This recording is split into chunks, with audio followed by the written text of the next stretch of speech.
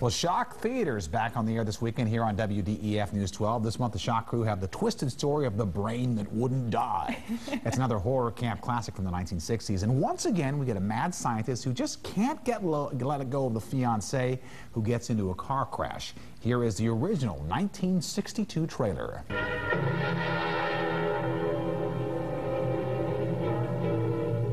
Brain kept alive by experimental science, by a man whose abnormal passions inspired him to try the impossible. I brought her back. She'll live and I'll get her another body. Yes, and what of her soul? How can you make of her an experiment of horror?